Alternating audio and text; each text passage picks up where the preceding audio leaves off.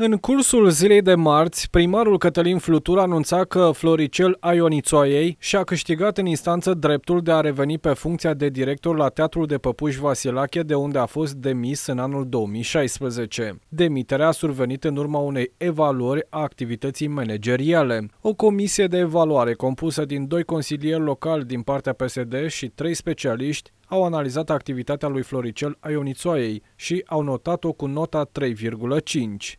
După 2 ani de procese, acesta a reușit să obțină anularea unor hotărâri de Consiliu Local. Asta înseamnă, asta înseamnă că trebuie să-i dăm într-o formulă sau alta postul înapoi domnului Aionițoaie, iar cei care au greșit vor trebui să plătească. Interpretarea primarului pare să fie însă eronată în condițiile în care instanța nu specifică nicăieri că Floricel va trebui să primească despăgubiri sau să revină în funcție.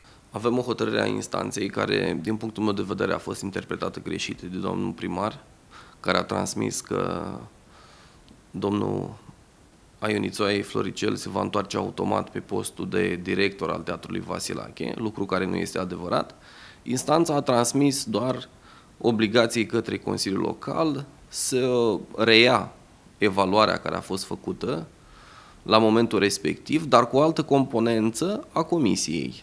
La mijloc ar fi vorba doar de o șicană politică și de o săgeată aruncată de primar la adresa aleșilor local PSD care au făcut parte din Comisia de Evaluare a Activității Manageriale. Sub nicio formă nu va trebui să plătim daune materiale, așa cum iar greșit a transmis domnul primar și din punctul meu de vedere a transferat discuția într-o într-o sferă politică pentru a pune presiune pe acești colegi care au făcut parte din comisie. Nu au nicio vină colegii care au acordat uh, notele respective.